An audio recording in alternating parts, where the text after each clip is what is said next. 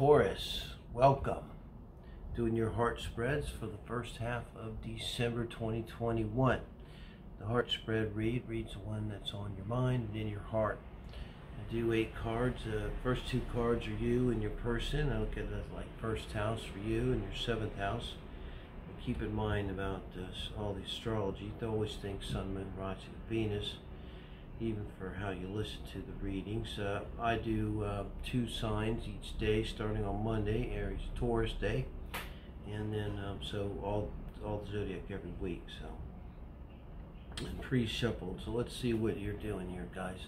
Page of Cups, and this page is going into the reading. So. Um, this is where you're at your mind your heart and around relationships right now so you're emotional uh, this is this is actually a great energy to go into the relationship with. It's kind of how I look at. it. Like I want to get a baseline of sort of just where you're at yourself around relationships.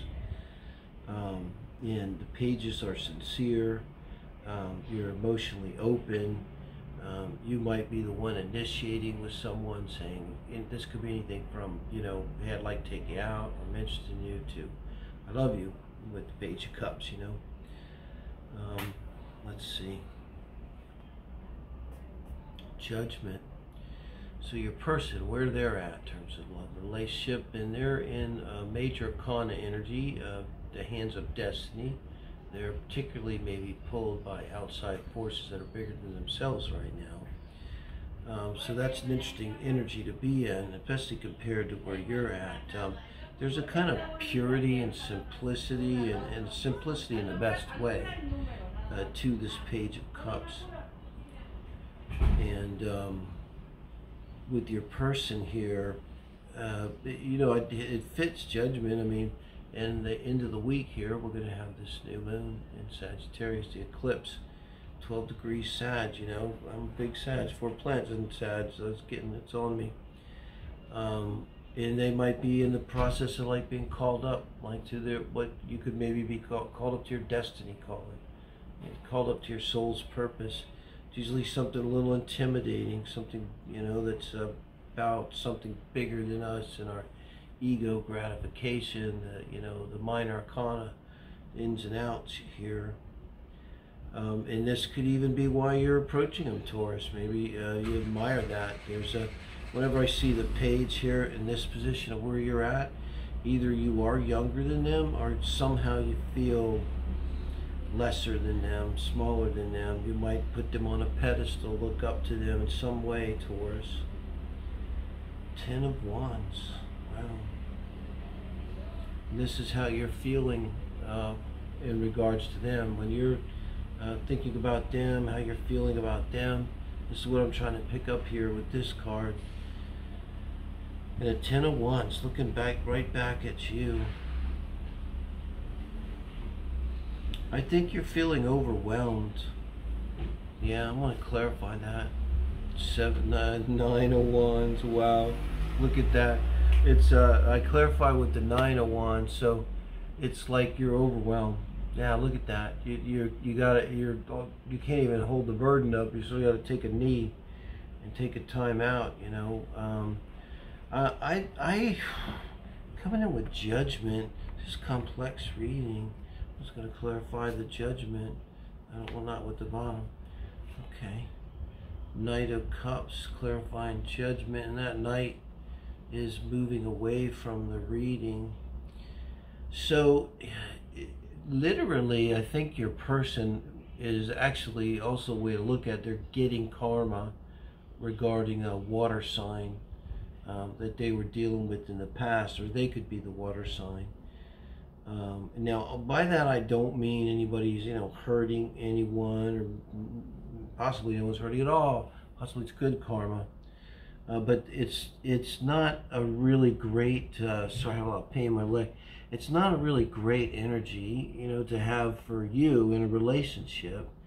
Um, and with these wands the way they are, I think they're kind of putting you off, but they may be doing it in a way that makes that's why you're showing up as the page of cups. I mean, you're not younger, but they're doing it in a way that is demeaning or demoralizing or putting you off in a way that somehow makes you feel small, uh, which is not a good feeling, okay? Um, yeah, and then in terms of the relationship, four pentacles. So they're not giving you a lot. You look when you're when you got those pentacles all in your arms, you can't even hug anyone.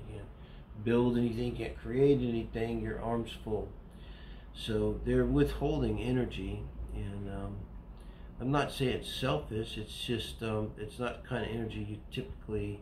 This shows how they're feeling about you. So it's not very forthcoming energy.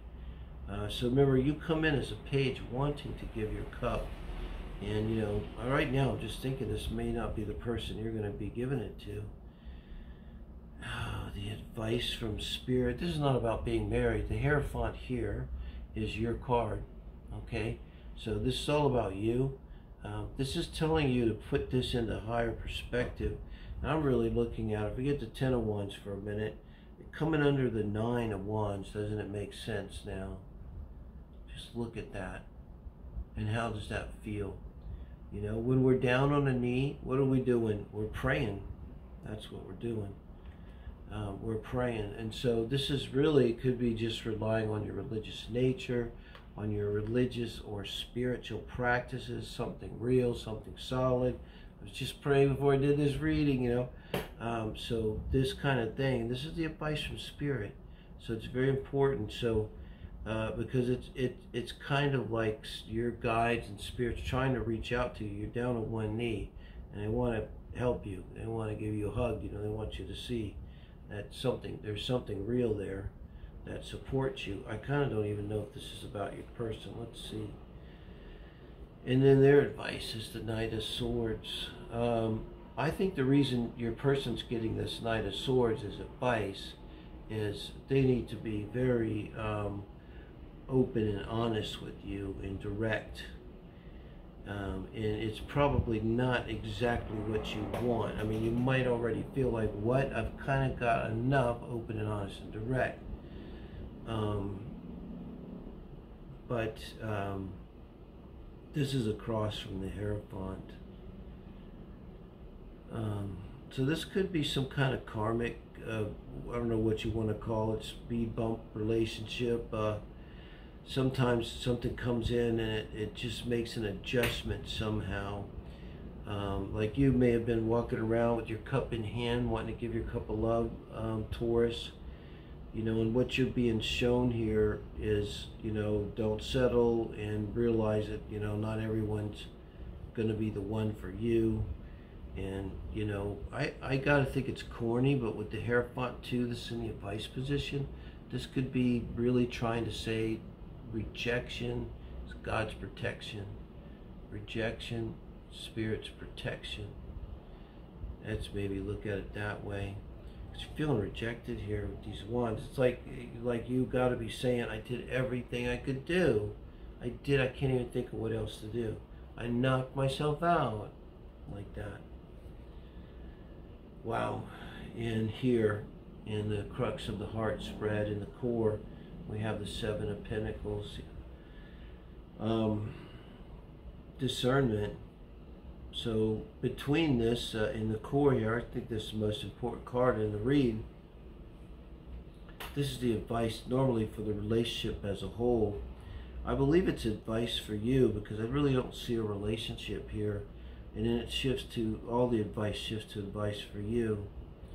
Um, and really, even the King of Swords, as advice for your person how to interact with you, could be said to be advice uh, for you to, if they're not forthcoming, then for you to be forthcoming and sort of, uh, you know, make very. Uh, the King of Swords can make a boundary, can make an ultimatum, um, that kind of thing. And the Seven of Pentacles is taking a hard, realistic look at things. It's, uh, you know, the Page of Cups maybe could be a little naive, maybe could be a little lost in their feelings, maybe could be a, a little into the Neptunian rosy-colored glasses.